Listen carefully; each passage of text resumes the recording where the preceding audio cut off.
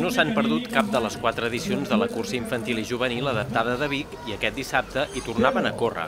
En Teo i l'Eliot, que viuen a Vallgorguina, van ser dos de la quarantena de participants a la prova que comptava amb un traçat lineal amb diferents distàncies, de 10, 20, 30, 40 o 50 metres.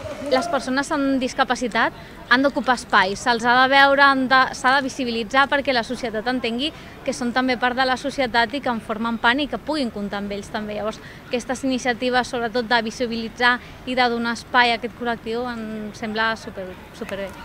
Per la Clara era la segona participació a la cursa.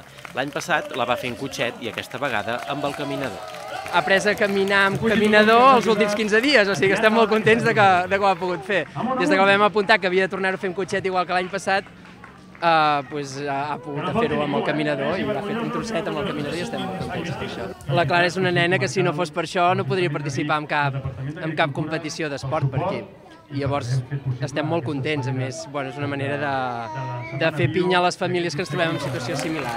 Entre les famílies tothom coincidia en els aspectes positius que la cita representa per als participants, infants i joves de fins a 18 anys amb diversitat funcional. La verdad que debería ser más constantemente porque de momento lo hacen cada año, por lo menos cada trimestre sería lo, lo ideal para ellos porque le agrada un montón.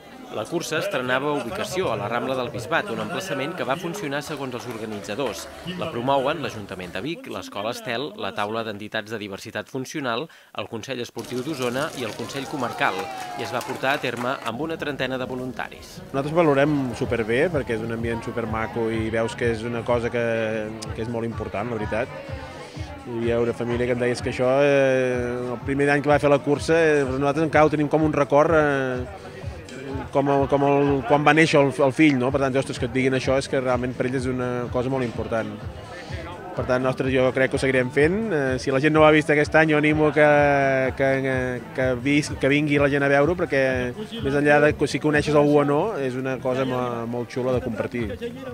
Tots els infants i joves que van participar a la prova van rebre una medalla i diversos obsequis.